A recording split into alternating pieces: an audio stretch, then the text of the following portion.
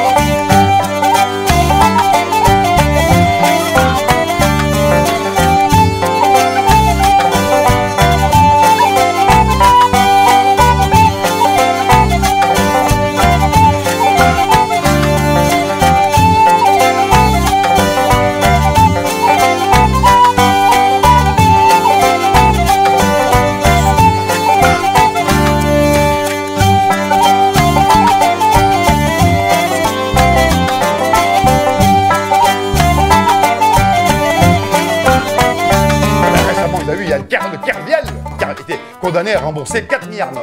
Alors ils l'ont dit en trois fois, tu veux, tu fais en trois fois.